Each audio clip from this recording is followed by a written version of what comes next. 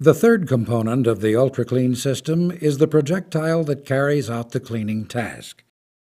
UltraClean projectiles are sized 20% to 30% larger than the internal diameter of the hose, tube, or pipe being cleaned to ensure a proper fit.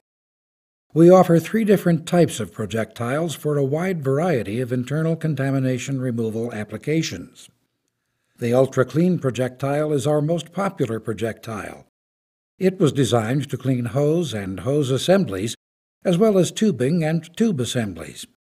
It easily removes rubber and metal contamination from the cutting process of hydraulic hose and tubes. The abrasive projectile has a scrub pad that is attached to the front of the projectile.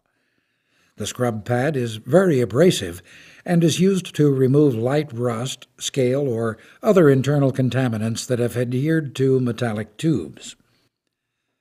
The grinding projectile is our most aggressive projectile at removing heavier rust and scale. It is coated with aluminum oxide.